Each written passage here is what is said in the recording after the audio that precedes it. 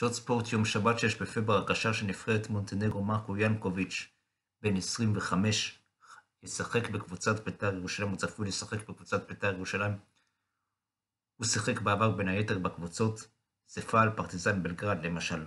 הוא בן 25, כאמור, נאחל המון בהצלחה לקשר מרקו ינקוביץ' שצפוי לשחק בקבוצת בית"ר ירושלים. כדורגל, היום בליגת העל אשדוד מול מכבי חיפה.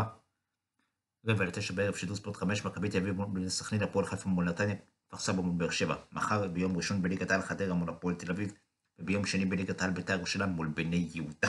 שיר צדק לשחק בקבוצת מכבי נתניה. היום במשחק מרכזי בליגה הספרדית וסטקה מול ריאל מדריד. היום במשחק מרכזי בליגה האיטלקית יובנטוס מול רומא. אתמול הייתה הגרלת חצי גמר הגביע הספרדי ברצלונה מול סביליה ואתלטיק בלבאו מול לבנט. כדורסל. היום בליגה הישראלית בכדורסל אילת מול חולון, ואתמול מכבי תל אביב ניצחה את הפועל באר שבע 174. עד כאן חדש ספורט, המשך יום נעים לכולם, שבוע טוב לכולם, המון בריאות, כל טוב ולהתראות.